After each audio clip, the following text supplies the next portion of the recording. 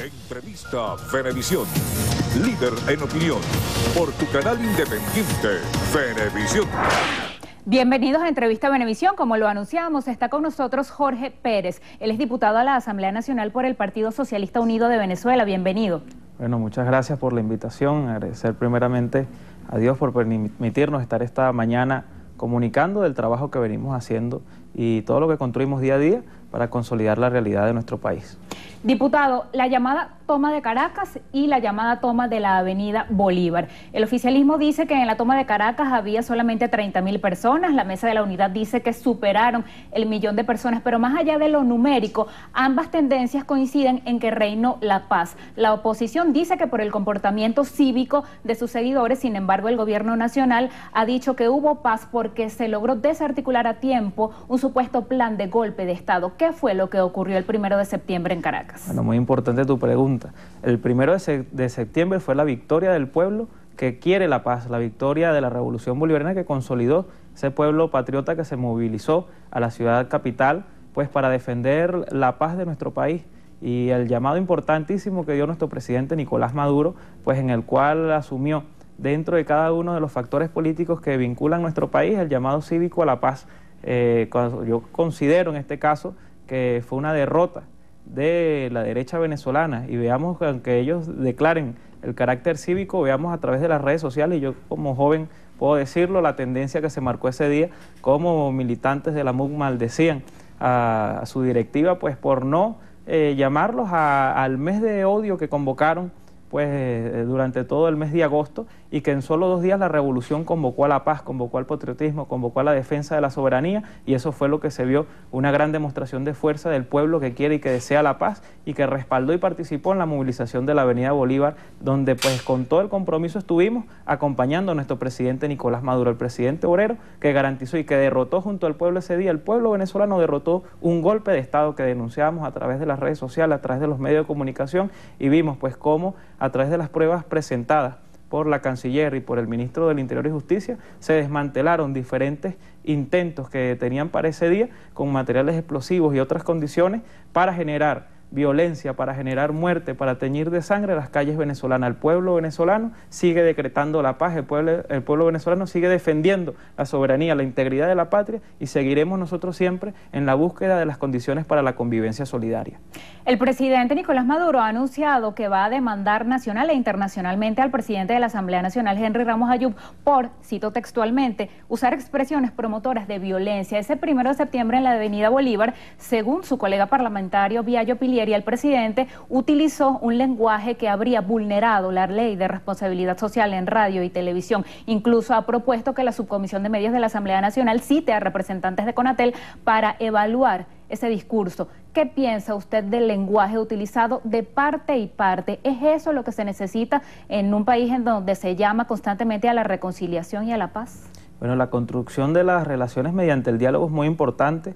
Eh, nuestro presidente Nicolás Maduro, bueno, ese día eh, parte de la emoción, parte de la actividad y usó una frase que es típica del lenguaje coloquial venezolano, aunque bueno, tiene algunos señalamientos de la derecha, dijo lo que muchos venezolanos piensan de Ramos Ayú, y no por su madre, sino por él, por las cosas que viene haciendo con la Asamblea Nacional y cómo ha destruido una institución que venía marcando tanto respeto para el pueblo venezolano en tan solo ocho meses. Ocho meses en los cuales una Asamblea Nacional no ha generado ningún tipo de ley en beneficio del pueblo, ocho meses en los cuales la eh, Asamblea Nacional no ha generado ningún tipo de desarrollo y de atención, de, aporte a la realidad venezolana y ocho meses en los cuales pues la Asamblea Nacional ha venido haciendo, construyendo, una agenda violenta, una agenda política que no busca el beneficio ni la solución a los problemas cotidianos del pueblo venezolano, sino a la retoma del poder de las fuerzas conservadoras de nuestro país. Usted que es parlamentario, ¿qué piensa sobre la posibilidad de que se levante mediante decreto la inmunidad? Eh, ya varios diputados de oposición y el propio presidente del legislativo, Henry Ramos Ayub, ha dicho que esto es inconstitucional si no hay de por medio la comisión de algún delito y que forma parte de persecución política. Bueno, eh, precisamente por ello.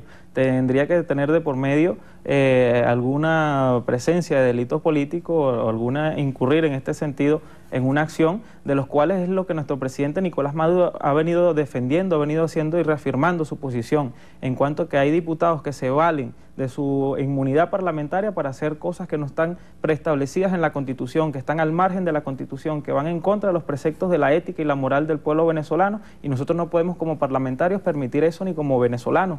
Nosotros fuimos electos por el voto popular, por el apoyo y el respaldo de un pueblo para cumplir con ética, con moral y con eficiencia tareas de responsabilidad en una Asamblea Nacional. Ahora veamos nosotros qué imagen viene dando la derecha venezolana que hoy representa en la Asamblea Nacional a la Mesa de la Unidad Democrática. Ha venido construyendo país, ha venido garantizando la paz y la estabilidad, ha venido garantizando espacios de división, de confrontación, espacios donde el pueblo venezolano es el más afectado de cada una de esas políticas que no terminan de generar acuerdos y de tener, eh, como ha venido presentándose, un espacio de conciliación. Nuestro presidente Nicolás Maduro fue el 10 de enero a la Asamblea Nacional y tendió puentes para el desarrollo económico, tendió puentes para la Comisión de la Verdad. ¿Y cuál ha sido el aporte de la oposición venezolana en la construcción y en la solución de los problemas del pueblo venezolano? No asistir a cada una de las actividades que se han venido desarrollando y que se realizan todos los martes dentro del espacio de gobierno en el tema del desarrollo económico. Cuatro sillas vacías en la Comisión de la Verdad y un conjunto de leyes inconstitucionales que vienen pues amparando un conjunto de delitos. Veamos nosotros la ley de amnesia criminal que apoyaba el asesinato, que eh, eh, amparaba de amnistía pues delitos como la corrupción, delitos como la usura, delitos como la estafa inmobiliaria y bueno, un conjunto, más de 51 delitos comunes tenía la ley de amnesia criminal. ¿Cuál ha venido haciendo la oposición? Que ha venido presentando la oposición venezolana en la Asamblea Nacional y que pues esto no es parte de lo que el pueblo venezolano espera de quienes eligió el pasado 6 de diciembre como sus parlamentarias y parlamentarios. El referendo revocatorio presidencial que la oposición ha citado como única salida posible a la actual crisis que vive el país. Veíamos que en un comunicado conjunto el expresidente de Estados Unidos Jimmy Carter y el secretario general de la OEA Luis Almagro y también el gobierno de España a través de otro comunicado pedían revocatorio en Venezuela este mismo año 2016. Y el vicepresidente Aristóbulo Isturiz el fin de semana decía que al gobierno no le interesa el revocatorio porque está ocupado trabajando en resolver los problemas de la gente. ¿Cómo los venezolanos palpan que realmente el Ejecutivo Nacional está trabajando por solucionar sus problemas. ¿Cuál es su óptica sobre el revocatorio, este mecanismo que está en la Constitución? Bueno, es importante, como bien tú lo dices, está en la Constitución. Eh, yo quisiera acotar allí al rey de España que se la pasa opinando sobre el gobierno venezolano cuando en España no tienen ni gobierno. Y Almagro, bueno, con sus acciones injerencistas sigue enfatizando en cuanto a la situación del referéndum revocatorio. El problema no es que se haga o no se haga el referéndum revocatorio, es la vulneración de la autenticidad democrática que precede un proceso como este y que la oposición venezolana ha hecho de forma irrisoria de forma, pues, eh, eh, en cuanto a los parámetros requeridos para un referéndum revocatorio, no lo ha cumplido a cabalidad. Eh, veamos nosotros, el referéndum revocatorio solamente existe en el, Estado de Derecho venezolano, en, este caso nuestra República.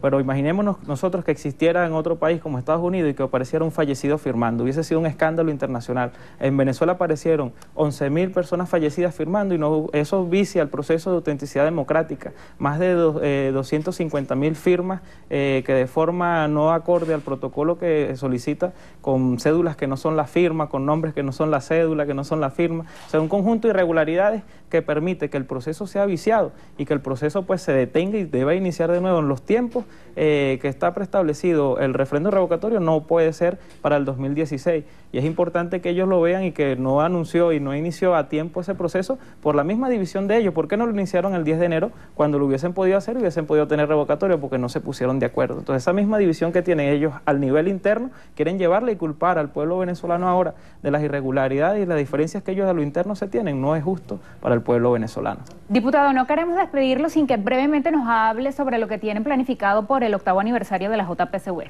Bueno, es importante saludar a todos los jóvenes de nuestro país que militan en la juventud del Partido Socialista Unido de Venezuela. Esta semana, bueno, tenemos un conjunto de actividades bien importantes con la OVE, con el sector universitario, con la juventud productiva que asume en primera persona el reto de hacer de Venezuela una patria potencia y una patria productiva. Y pues el día de hoy estaremos instalando lo que es el Comité Nacional de Legislación y Políticas Públicas para el Poder Popular de la Juventud, el cual agrupa a un conjunto, pues a todos los parlamentarios jóvenes en sus diferentes instancias, diputados y diputadas a la Asamblea Nacional, eh, eh, concejales, legisladores regionales, parlamentarios comunales y a todos los jóvenes que en función de gobierno están pues en cada una de las instancias y agrupa los legislativos, los ejecutivos, para generar políticas que atiendan directamente la realidad de la juventud venezolana con mayor atinencia, con mayor eficiencia y con la participación y la decisión del joven que pues está en cada una de nuestras comunidades. Usted es el más joven, ¿no? De la Asamblea Nacional. Soy el diputado más joven y tengo esa responsabilidad y ese honor gracias al apoyo del pueblo venezolano. Gracias por haber venido el día de hoy. Bueno, gracias a ustedes por la invitación.